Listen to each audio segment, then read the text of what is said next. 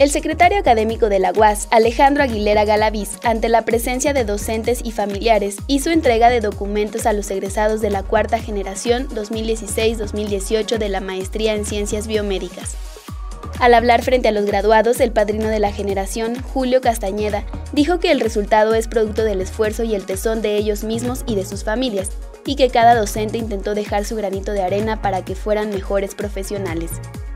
Por su parte, Julia Cecilia Galindo, mejor promedio de la generación, externó que fueron poco más de dos años de experiencias, vivencias y aprendizajes nuevos, y que en este tiempo saltaron barreras de todo tipo.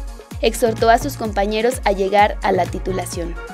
La ceremonia tuvo lugar en el audiovisual del E1 del Campus UAS siglo XXI y se contó con la presencia del coordinador del área de ciencias de la salud y los directores de enfermería y de ciencias químicas.